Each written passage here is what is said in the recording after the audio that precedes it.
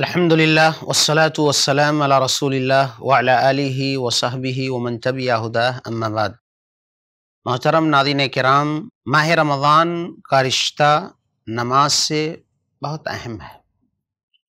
خاص کر کے وہ نمازیں جن کی اہمیت و فضیلت زیادہ بیان کی گئی۔ ہے اور یہ نمازیں یہ نہیں کہ ہم جب چاہیں جس طرح سے چاہیں، جہاں چاہیں پڑھ لیں۔ بلکہ اللہ رب العزت نے قرآن کریم کے اندر جہاں بھی نماز کے لیے کہا ہے، وہاں اقامت سلاد کی بات کہی ہے۔ چنانچہ اللہ تعالیٰ نے ایک جگہ فرمایا سور توبہ میں فعین تابو و اقام الصلاۃ و آت الزکات فیخوان الدین اسی سور توبہ میں جگہ فرمایا فعن تابو و اقام الصلاۃ و آت الزکات فخل صبیلا اگر یہ لوگ شرک سے توبہ کرتے ہیں، نماز کو قائم کرتے ہیں، زکوٰۃ کی ادائیگی کرتے ہیں، تو یہ تمہارے دینی بھائی ہیں اور تم ان کے راستے کو چھوڑ دو یعنی ان سے جنگ نہ کرو۔ یہی وجہ ہے کہ اللہ کے نبی صلی اللہ علیہ وسلم اپنے صحابہ کو یہ تلقین کیا کرتے تھے کہ جس بستی سے فجر کی اذان سنو تو اس بستی پر حملہ نہ کرو۔ دو بات معلوم ہوئی۔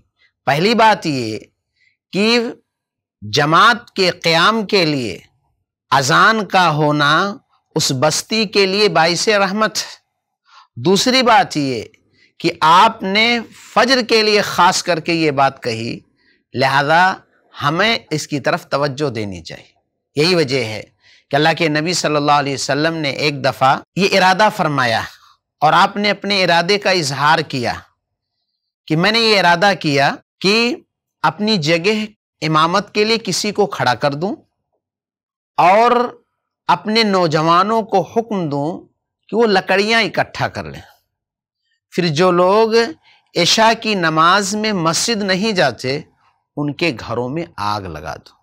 غور کرنے کی بات ہے، جماعت سے پیچھے رہنے والوں کے گھروں میں آپ آگ لگانے کا ارادہ فرماتے ہیں، اس کی خاطر اپنی جگہ کسی کو متعین کر رہے ہیں، اور یہ ارادہ آپ کر رہے ہیں جبکہ دوسری جگہ آپ فرماتے ہیں کہ اللہ تعالیٰ نے مال کو ضائع کرنے سے روکا ہے۔ اگر گھروں میں آگ لگائی جاتی ہے تو پھر ایسی صورت میں مال کا ضیاع جان کا ضیاع لازمی ہے۔ لیکن آپ نے اپنے اس ارادے کی تکمیل جو نہیں کی، اس کی وجہ یہ نہیں تھی کہ مال ضائع ہوگا، بلکہ آپ نے دوسری روایت میں فرمایا لول النساء والذریہ۔ اگر خواتین گھروں میں نہ ہوتی معصوم چھوٹے بچے گھروں میں نہ ہوتے، تو میں آگ لگا دیتا، معلوم یہ ہوا کہ مسجدوں کے اندر باجماعت نماز کے لیے مردوں کا حاضر ہونا یہ ضروری ہے۔ یہی وجہ ہے کہ ایک نابینا صحابی عبداللہ ابن ام مکتوم رضی اللہ تعالی عنہ نے اللہ کے نبی صلی اللہ علیہ وسلم سے اپنی بینائی آنکھ کی نہ ہونے کی وجہ سے گھر میں نماز پڑھنے کی آپ نے اجازت طلب کی۔ چنانچہ کہتے ہیں، یا رسول اللہ، انی شیخن ضریر البصری ضعیف البدنی شاہ سے و بینی و بین المسجد نخل و وادن فہلی من رخصہ، کہتے ہیں اللہ کے رسول صلی اللہ علیہ وسلم، انی شیخن، میں بوڑھا ہوں. ضریر البصر، آنکھ کی بینائی سے محروم. تیسرا عذر، ضعیف البدن، کمزور جسم والا ہوں. چوتھا عذر شاہ سے ادار میرا گھر مسجد سے دور ہے. پانچواں عذر وہ بینی و بین المسجد نخل واد اور میرے گھر و مسجد کے درمیان خجور کے باغات اور وادیاں ہیں جہاں کیڑے، مکوڑے موزی جانوروں کا خطرہ ہے۔ اور بعض روایتوں میں ہے کہ ولی سلی قائد یقودنی المسجد۔ یہ چھٹا عذر ہے کہ میرے پاس کوئی ایسا بندہ نہیں ہے جو مجھے سہارا دے مسجد تک پہنچنے کے لیے۔ یہ چیزیں ذکر کرنے کے بعد کہتے ہیں فہلی من رخصان صلی فی منزلی کیا میرے لیے گنجائش ہے؟ کہ میں گھر میں پڑھ لوں۔ آپ نے فرمایا اتسما الندا کیا تم اذان سنتے ہو؟ کہا جی ہاں قالف عجب کہا، تب ضروری ہے۔ غور کریں۔ اللہ کے نبی صلی اللہ علیہ وسلم نے یہ تاکیدی حکم جو دیا ہے، اس سے کیا پتا چلتا ہے کہ ایک مسلمان شعار اسلام کا اظہار کرے۔ ایک مسلمان مسجد میں حاضر ہو کر پنج وقتہ نمازوں میں جو فرشتے حاضر ہوتے ہیں اور حاضری ریکارڈ کر کے رب کی بارگاہ میں پیش ہوتے ہیں، اس میں اس کی بھی شمولیت ہو، اس کا بھی ذکر خیر رب کی بارگاہ میں ہو۔ اس لیے حاضری ہے، کیونکہ اللہ کے نبی صلی اللہ علیہ وسلم نے فرمایا، من صلی العشاء فی جمع فکأنما قام نصف اللیل، ومن صلی الفجر فی جمع فکأنما قام اللیل کلہ۔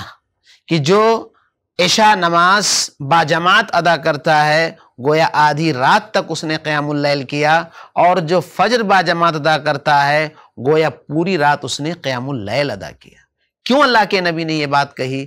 اس لیے بھی اللہ کے نبی نے کہی کہ منصل الفجر فی جمع فی ذمت اللہ، جو فجر با جماعت ادا کرتا ہے، وہ اللہ تعالیٰ کی سیکورٹی میں ہوتا ہے، اس کے حفظ و امان میں ہوتا ہے۔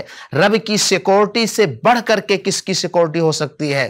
اس لیے اللہ کے نبی صلی اللہ علیہ وسلم نے پنج وقتہ نمازوں میں حاضری کی بات کہی، کیونکہ آپ فرماتے ہیں منصل البردین دخل الجنہ، جو عصر اور فجر کی نماز با جماعت پڑھتا ہے، وہ جنت میں داخل ہوگا۔ لئی علی جنار عہد صلی قبل طلوع الشمس و قبل غروبها، جو فجر اور عصر کی نماز با جماعت پڑھتا ہے، وہ جہنم میں داخل نہیں ہوگا۔ اسی طرح سے اللہ کے نبی صلی اللہ علیہ وسلم نے فرمایا، رات کی تاریکیوں میں، فجر میں، عشاء میں، مسجدوں میں جانے والوں کو خوشخبری دے دیجیے روز قیامت ایک مکمل روشنی کی۔ یہ فضیلتیں حاصل کرنے کے لیے۔ بات اتنی ہی نہیں، بلکہ اللہ کے نبی صلی اللہ علیہ وسلم نے تو یہاں تک فرمایا، انکم سترون ربکم کما ترون هذا القمر لا تضامون فی رؤیته۔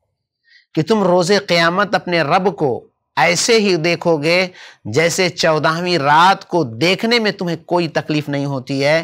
لہذا اگر کوئی رب کا دیدار قیامت کی جو سب سے بڑی نعمت ہے اسے چاہتا ہے، تو ایسی صورت میں فصب بحمد ربی کا قبل طلوع الشمس و قبل غروبیہ تو اسے چاہیے کہ فجر اور عصر کی نماز کی پابندی کرے۔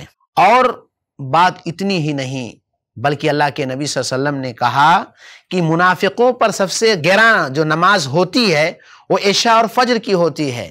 لہذا اگر تم منافقین کی روش سے بچنا چاہتے ہو، ان کے صفات سے دوری اختیار کرنا چاہتے ہو، تو پھر ایسی صورت میں تم ان نمازوں میں حاضری دو۔ اور اتنی ہی بات نہیں ہے، بلکہ اگر ہم غور کریں تو ایک انسان جو باوضو ہو کر گھر سے مسجد کی طرف جاتا ہے۔ اللہ کے نبی صلی اللہ علیہ وسلم نے فرمایا، ہر قدم کے بدلے اسے ایک نیکی ملتی ہے۔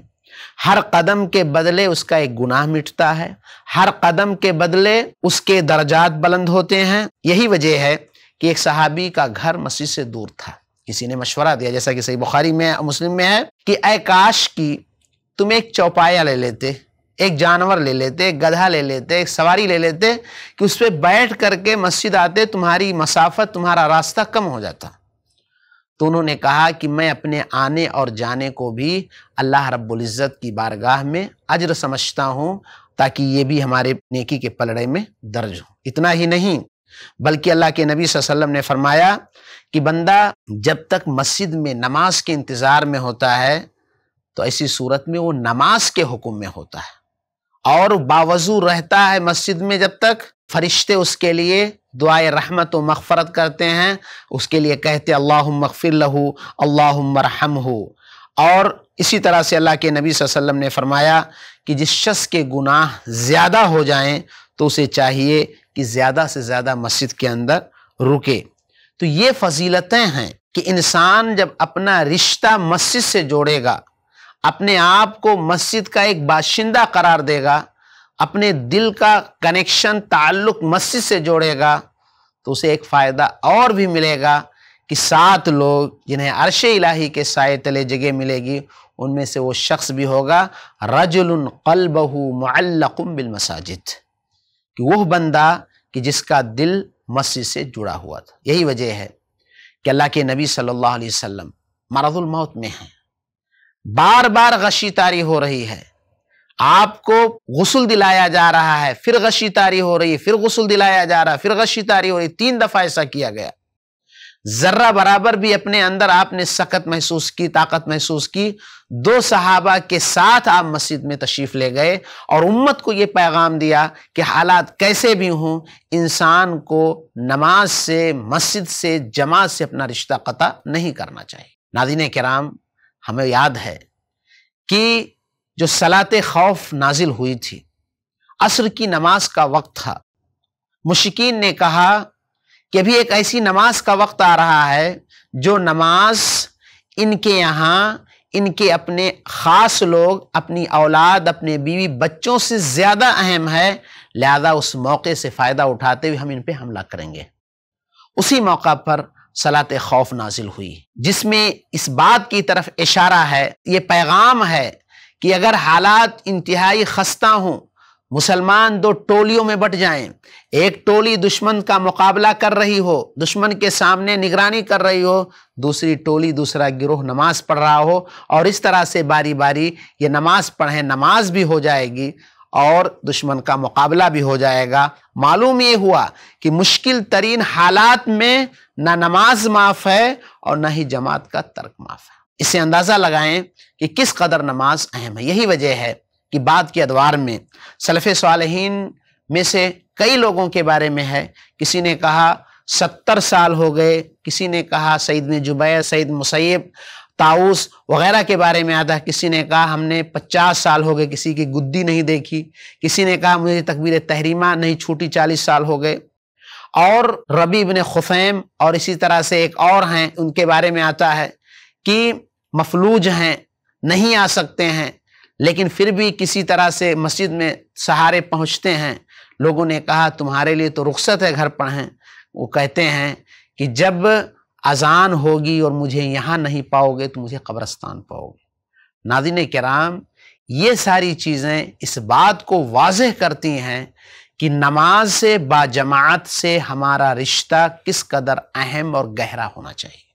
چاہے یہ نمازیں فرض کی شکل میں ہوں، چاہے یہ نمازیں نفل کی شکل میں ہوں۔ صحابہ کرام رضوان اللہ علیہ مجمعین کی زندگی کا یہی وجہ ہے کہ اللہ رب العزت واضح لفظوں میں نقشہ کھینچتا ہے کہ وہ نماز کے استعین بہت زیادہ حساس تھے۔ اللہ رب العزت نے صحابہ کی تو یہ صفت بیان کی کہ محمد الرسول اللہ والذین معه اشداء علی الكفار رحماء بینہم، تراہم رکعن سجدن یبتغون فضلا من اللہ و رضوانا کہ محمد صلی اللہ علیہ وسلم کے ساتھ جو لوگ ہیں، وہ کفار کے تئیں سخت ہیں۔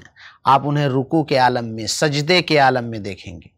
اور یہ رضائے الہی کی خاطر یعنی ان کی سیرت ہم پڑھیں گے، ان کی زندگی کے حالات پڑھیں گے، تو ان کے واقعات یہ بتلائیں گے کہ وہ ہمیشہ رکو سجدے کے عالم میں۔ اسی طرح سے اللہ تعالیٰ نے دوسری جگہ فرمایا تتجافا جنوب من المضاج يدعون ربهم خوفا وطمعا۔ رات میں ان کے بستر سے ان کے پہلو دور ہوتے تھے۔ اور رجال لا تلیہم تجارت ولا بیع عن ذکر اللہ و اقام الصلاح کہ ایسے مرد ہیں کہ ان کی تجارت، ان کی خرید و فروخت، ان کی دنیائی مصروفیتیں انہیں اللہ کے ذکر سے اور اللہ رب العزت کی عبادت سے غافل نہیں کیا کرتے تھے۔ دن بھر یہ عبادتیں کرتے تھے، لیکن نماز کی انتظار میں، عشاء کے انتظار میں ان کی حالت یہ ہوتی تھی کہ ان کو نیند آتی، جھپکی آتی، لیکن وہ ہٹتے نہیں تھے۔ یہی وجہ ہے کہ ان کا شوق ہی تھا کہ اللہ کے نبی صلی اللہ علیہ وسلم رمضان میں تیئیس کو ایسے ہی پچیس کو اور ایسے ہی ستائیس کو تین دن، پہلے دن ایک تہائی حصہ رات کا، دوسرے دن آدھی رات اور تیسرے دن پوری رات تقریباً کہ لوگوں کو سحری کا ڈر ہوا۔ لیکن یہ اس قدر جمے رہے کہ چوتھے دن آپ صلی اللہ علیہ وسلم نہیں نکلے، اس خوف سے کہ کہیں تراویح ان پر فرض نہ کر دی جائے۔ نادین کرام، یہ صورت حال ہے، نماز کا پوری زندگی میں ہمارے یہاں کیسی ہونی چاہیے اور جب گیارہ مہینوں میں اس انداز میں ہونی چاہیے تو رمضان میں اس کا حال کیسا ہونا چاہیے بیان کرنے کی ضرورت نہیں ہے۔ آئیے یہ دیکھتے ہیں کہ رمضان کا مہینہ ہے۔ فرائض کی یہ حالت ہونی چاہیے۔ تو نوافل کی کیا اہمیت ہے؟ یہ نوافل جنہیں ہم سنت موقع کہیں، ان کی جو فضیلتیں دیگر دنوں میں ہیں، ان دنوں میں مزید ہیں، کیونکہ یہ مہینہ مقدس ہے۔ لیکن خاص کر کے تراویح جنہیں قیام اللیل کہتے ہیں، جنہیں تحجد بھی کہتے ہیں۔ ان کی بہت زیادہ فضیلت آئی ہوئی ہے، بلکہ اللہ کے نبی صلی اللہ علیہ وسلم نے اسے افضل اعمال میں سے کہا ہے۔ اور اسی کے بارے میں قرآن نے ان کا نقشہ کھینچا ہے کہ ان کے پہلو بستروں سے اللہ تعالیٰ کے ڈر اور امید سے دور رہتے تھے۔ یا اسی طرح سے اسی نفلی نماز یا تحجد یا قیام اللیل کی نقشہ کشی کھینچتے ہوئے اللہ تعالیٰ فرماتا ہے کانو قلیلا من اللیل ما یحجعون وبالاسحار یستغفرون. یہ رات میں بہت کم سوتے ہیں، سحر کے وقت اٹھ کر کے رب العالمین سے توبہ استغفار کرتے ہیں۔ اسی طرح سے ایک اور آیت میں اللہ رب العزت فرماتا ہے، امن ہوا قانت آنا اللیل ساجدا وقائما يحذر الاخرہ ويرجو رحمت ربی قل هل يستوي الذين يعلمون والذين لا يعلم بھلا وہ شخص جو راتوں کے اوقات سجدے اور قیام کی حالت میں گزارتا ہو، آخرت سے ڈرتا ہو اور اپنے رب کی رحمت کی امید رکھتا ہو، بتاؤ کہ وہ لوگ جو جانتے ہیں اور جو نہیں جانتے برابر ہو سکتے، یہاں پر رات میں قیام کرنے والے چاہے رمضان میں تراویح کی شکل میں ہوں یا غیر رمضان میں تحجد کی شکل میں ہوں، ایسے لوگوں کی فضیلت بیان کی گئی ہے۔ اللہ کے نبی صلی اللہ علیہ وسلم نے ایک حدیث میں بیان فرمایا، ابو ماما باہلی رضی اللہ تعالیٰ عنہ کی روایت ہے، علیکم بقیام اللیل۔ لوگو، تم قیام اللیل کو لازم پکڑو، تحجد یا رمضان میں تراویح کو لازم پکڑو، فَإِنَّهُ دَابُ الصَّالِحِينَ قَبْلَكُمْ۔ یہ تم سے پہلے لوگ، دوسری امتوں کے لوگوں کا یہی وطیرہ اور طریقہ تھا۔ وہ قربت الى ربکم، اور رب سے قریب ہونے کا یہ بہترین نسخہ ہے۔ وہ مکفرت للسیاتی و منحات للاسم تمہارے گناہوں کو مٹانے اور برائیوں سے بچے رہنے کا ایک بہترین ذریعہ ہے۔ اسی طرح سے تحجد یا قیام اللیل کی فضیلت میں اللہ کے نبی نے فرمایا، ان فی الجنت غرفا یورا ظاہرها من باطنها و باطنها من ظاہرها بے شک جنت میں ایسے کمرے ہیں جن کا باہر والا حصہ ان کے اندرونی حصے سے دکھائی دیتا ہے اور اندرونی حصہ باہر سے دکھائی دیتا ہے۔ اللہ تعالیٰ نے کھانا کھلانے والوں کے لیے، نرم گفتگو کرنے والوں کے لیے، پے در پہ روزے رکھنے والوں کے لیے اور اسی طرح سے رات میں قیام اللیل کرنے والوں کے لیے رکھا ہے۔ گویا کی اگر ہم سال کے گیارہ مہینوں میں تحجد پڑھتے ہیں اور رمضان میں اسے تراویح کی شکل میں ادا کرتے ہیں، تو ایسی صورت میں ہم اس جنت میں انشاءاللہ داخل ہوں گے، جس جنت کے اندر کچھ نیا پن ہے کہ اندر سے باہر کا منظر اور باہر سے اندر کا منظر نظر آتا ہے۔ اسی طرح سے اللہ کے نبی صلی اللہ علیہ وسلم نے فرمایا کہ جبرائیل نے ان سے کہا، یا محمد، اشما شیت فإنک میت اے محمد صلی اللہ علیہ وسلم، آپ جتنا چاہیں زندہ رہ لیں آپ کو موت آنے والی وہ آہ بھی منشیتا فن کا مفارق جس سے جتنی چاہیں محبت کر لیں، ایک دن اسے چھوڑ کے جانے والے ہیں۔ وہ عمل معاشیت فن کا مجزی بھی جو چاہے نیک کے کام کر لیں اس کا بدلہ آپ کو دیا جائے گا۔ لیکن خاص کر کے جو کہا جبرائیل نے وَعَلَمْ أَنَّ شَرَفَ الْمُؤْمِنِ قِيَامَهُ بِاللَّيْلِ وَإِزُّهُ اسْتِغْنَاؤُهُ عَنِ النَّاسِ۔ یہ دو اہم نسخہ بتایا کہ ایک مومن کی شرافت، ایک مومن کی عزت رات میں قیام اللیل کی وجہ سے ہے اور اس کی خودداری، اس کی عزت لوگوں سے بے نیازی کے ذریعے۔ لوگوں سے ہم بے نیاز رہیں گے، رات میں قیام اللیل یا تراوی یا تحجد کی ادائیگی کریں گے، تو پھر ایسی صورت میں ہم لوگوں کی نگاہوں میں معزز رہیں گے۔ یہی وجہ ہے کہ اللہ رب العزت نے نبی کریم صلی اللہ علیہ وسلم کو مخاطب کرتے ہوئے قرآن میں فرمایا سورہ مزمل میں، یا ایوہ المزمل قم اللیل الا قلیلا نصفہ اوین قسمنہ قلیلا او زد علیہ ورتل القرآن ترتیلا اے کپڑے لپیٹنے والے، رات کے وقت نماز میں کھڑے ہو جاؤ، آدھی رات یا اس سے بھی کچھ کم کر لے یا اس پر بڑھا دے اور قرآن کو ٹھہر ٹھہر کر کے صاف پڑھا کریے۔ یہاں پر آپ صلی اللہ علیہ وسلم کو تاکیدی حکم ہو رہا ہے تراویح یا تحجد کے لیے۔ یا اسی طرح سے فرمایا، وَمِنَ اللَّيْلِ فَتَحَجَّدْ بِهِ نَافِلَةً لَكْ، عَسَىٰ أَن يَبْعَثَكَ رَبُّكَ مَقَامًا مَحْمُودًا۔ رات کے کچھ حصے میں آپ تحجد پڑھا کریں۔ امید ہے کہ اللہ تعالیٰ آپ کو اس کے بدلے میں مقام محمود پر پہنچائے گا۔ اسی طرح سے سیدہ عائشہ رضی اللہ تعالیٰ عنہ فرماتی ہیں کہ رسول اللہ صلی اللہ علیہ وسلم اذا قام حتی تفتر رجلہ آپ جب قیام کرتے، نماز پڑھتے رات میں، تو آپ صلی اللہ علیہ وسلم کے قدموں پہ ورم پڑ جاتے۔ میں کہتی اتسنا وقد غفر لك ما تقدم من ذنبك وما تاخر میں کہتی، آپ یہ کر رہے ہیں، جبکہ آپ کے اگلے پچھلے تو سارے گناہ معاف ہیں۔ تو آپ امت کو عادی بنانے کے لیے، پیغام دینے کے لیے کہتے تھے، افلا اکون عبدن شکورا، کیا میں شکر گزار بندہ نہ بن جاؤں؟ اسی طرح سے حضیفہ بن یمان رضی اللہ تعالیٰ عنہ کہتے ہیں کہ میں نے ایک دفعہ اللہ کے نبی صلی اللہ علیہ وسلم کے ساتھ رات میں نماز پڑھی۔ آپ نے سورہ بقرہ پڑھا۔ میں نے سوچا اب رکو کریں گے سوایتوں کے بعد۔ پھر آگے بڑھتے گئے۔ میں سوچا اب رکو کریں گے۔ سورہ نساء بھی آپ نے پڑھی، پھر بھی آپ نے رکو نہیں کیا۔ سورہ آل عمران بھی آپ صلی اللہ علیہ وسلم پڑھنے لگے۔ تو ایسی صورت میں جب کوئی آیت تسبیح کی ہوتی تو سبحان اللہ کہتے، جب کوئی سوال کی بات ہوتی، سوال کرتے، کسی آیت سے پناہ طلب کرنے کی بات ہوتی تو پناہ طلب۔ یعنی اتنی لمبی، ڈھائی پارے تقریباً مشتمل ہے سورہ بقرہ۔ پھر سورہ نساء آپ صلی اللہ علیہ وسلم پڑھ گئے اور یہ دیکھ رہے ہیں کہ آپ اتنی لمبی نماز پڑھ رہے ہیں۔ یہی وجہ ہے کہ آپ صلی اللہ علیہ وسلم نے عبداللہ بن عمر رضی اللہ تعالیٰ عنہ سے کہا تھا کہ نعم الرجل عبداللہ۔ عبداللہ کتنا اچھا انسان ہے یہ تو قیام اللیل کرتا ہے۔ اسی طرح سے قیام اللیل کی فضیلت میں آپ نے فرمایا، سب سے افضل نماز فرض نمازوں کے بعد قیام اللیل ہے۔ آپ نے فرمایا، جو شخص دس آیتوں سے قیام کیا، وہ غافل شمار نہیں ہوگا۔ اور جو شخص سو آیتیں پڑھ کر کے قیام اللیل کیا، وہ عابد و زاہد ہوگا۔ اور جو ہزار آیتیں پڑھ کر کے قیام اللیل کرتا ہے، تو بہت زیادہ ثواب حاصل کرنے والا ہے۔